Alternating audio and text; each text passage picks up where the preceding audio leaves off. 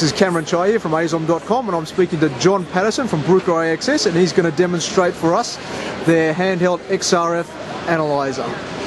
Thank you very much. This is the uh, Bruker uh, Tracer Turbo SD. The uh, instrument is designed for metal analysis, for uh, metal manufacturers, metal fabricators, scrap sorters, and that sort of thing.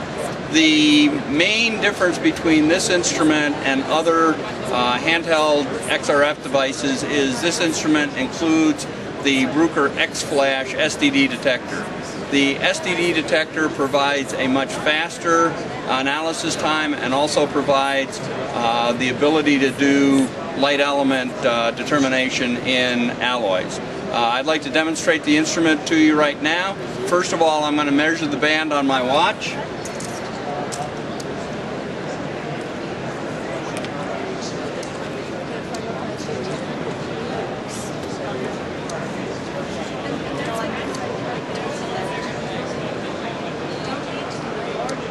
Very rapidly that comes up and shows us that the watch band is 304. With no changes in settings I can go directly to aluminum sample and measure the aluminum samples.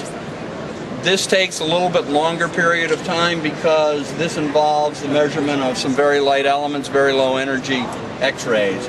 But in about 15 or 20 seconds, uh, the instrument will give us a good chemistry and alloy identification on this aluminum sample.